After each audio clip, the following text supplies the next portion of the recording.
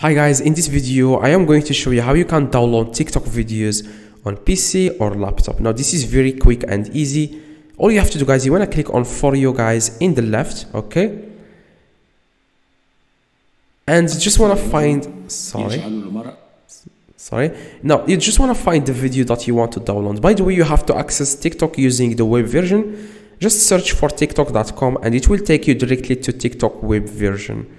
Now the next thing you, you, need to do guys, you want to click on this share here, okay, as you can see, and then you want to click on copy link. So after you see here copied, that's all you need to do guys. Now you need you can close everything if you want.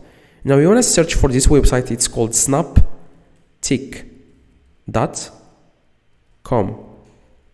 Uh, no, I'm sorry, it's not snaptik.com, that app, okay?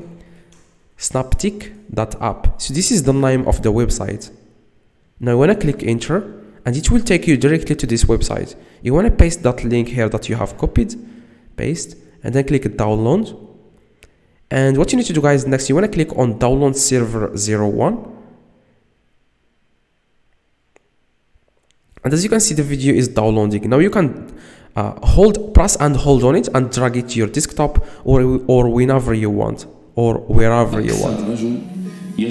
And then you can send it to anyone you want if, if that's if that's what you want. If this video guys helped you please drop a like and subscribe. Let me know in the comments if this works. See you guys in the next video